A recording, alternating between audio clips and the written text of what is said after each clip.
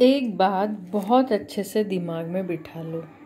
है ना? बहुत अच्छे से माइंड में सेट कर लो कि नेशनल इनकम में ओनली फाइनल गुड्स ही इंक्लूड होते हैं। अभी तक आपने दो गुड्स सीखे फाइनल गुड्स और इंटरमीडिएट गुड्स तो इंटरमीडिएट गुड्स कभी भी नेशनल इनकम में इंक्लूड नहीं होते हैं। एक्चुअली हम लोग नेशनल इनकम सीखने के पहले नेशनल इनकम से रिलेटेड सारे कंसेप्ट क्लियर कर रहे हैं। तो यहाँ पर हमारा जो फाइनल गुड्स है, वही नेशनल इनकम में इंक्लूड होता है है ना? तो you may note that only final goods are included in the estimation of national income फिर से अब भी क्या बिलर्न कर लो?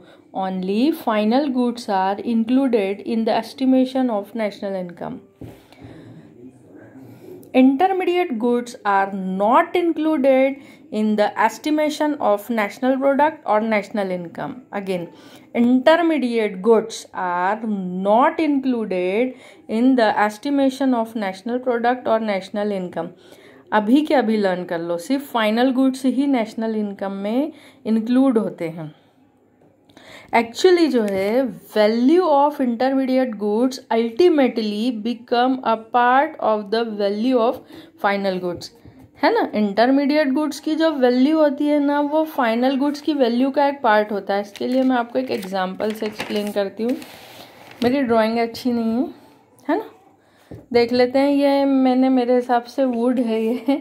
वुड जो है, किसने परचेस करी है? Wood purchase by a carpenter worth rupees one thousand carpenter ने वन थाउज़ेंड की वुड परचेस करी है। अभी तक आप ये तो समझ गए होंगे कि ये वुड कारपेंटर के लिए इंटरमीडिएट गुड है।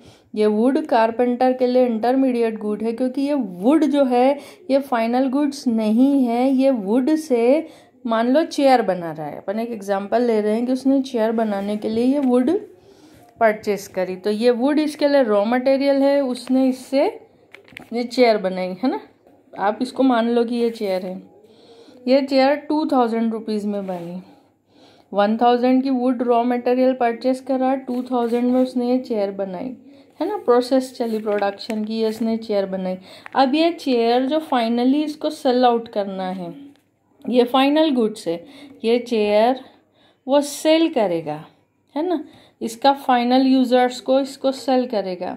और ये वुड है, ये इंटरमीडिएट गुड है। ये वुड के वन थाउज़ेंड रुपीज़ जो वुड है, वो नेशनल इनकम में नहीं आएगा, लेकिन जो फाइनली फाइनल यूज़र्स के लिए ये चेयर बन गई है टू थाउज़ेंड रुपीज़ की, ये टू थाउज़ेंड रुपीज़ जो हैं, वो नेशनल इनकम में काउंट होंगे। है ना? ये देखो मैंने लिखा है कि ये जो इंटरमीडिएट गुड्स है not included in the estimation of national income but this chair is final goods worth rupees two thousand will be included in the national income okay ठीक है? अब ये क्या है कि क्यों इंटरमीडिएट गुड्स को, क्या रीज़न है कि इंटरमीडिएट गुड्स को नेशनल इनकम में नहीं ऐड करते हैं? तो पहली बात तो मैंने अभी आपको बताया कि intermediate goods part of final goods final goods में अपने आप वो इंक्लूड होता है। जैसे यही एग्ज़ाम्पल से मैं अभी आपको एक्सप्लेन कर दूँगी। ये देखो, मान लो ये वन थाउज़ेंड की वुड है।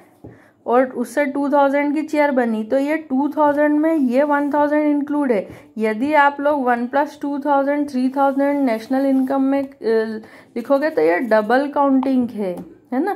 और डबल काउंटिंग नहीं होनी चाहिए नेशनल इनकम में। नेशनल इनकम में ये टू थाउज़ेंड आएँगे, क्योंकि ये टू थाउज़ेंड में ये वन थाउज़ेंड इंक्लूडेड है।